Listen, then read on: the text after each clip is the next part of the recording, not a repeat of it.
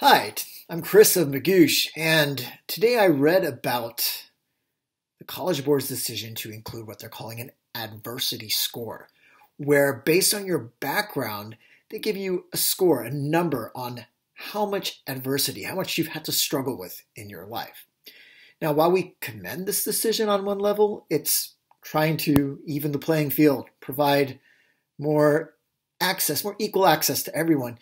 While we commend that, we're also a little bit concerned by this score, by how College Board is going about trying to address the inequity. Uh, really, first off, is this idea that we don't get to see the scores. You're given this adversity score, and colleges see it.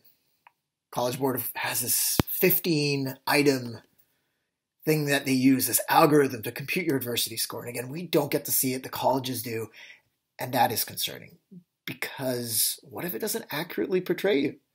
We believe each student is special, and yet here you have this algorithm telling you you're this number.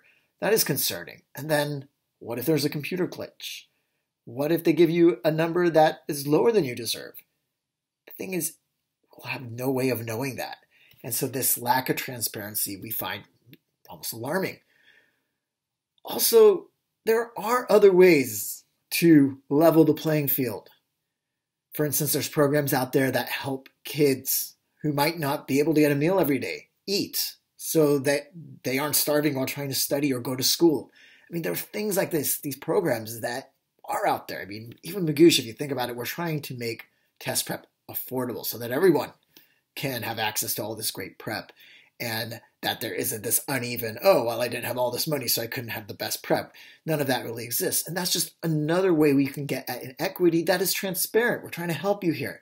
But when College Board steps in again and makes it not transparent, it is a little bit alarming. So we encourage College Board to, hey, keep going in this direction, even the playing field, but do it in a way where you're using or working with programs that are currently out there helping students who are underprivileged.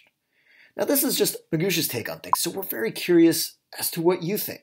What do you think about College Board's adversity score? Do you have any concerns, any worries? Feel free to share them with us.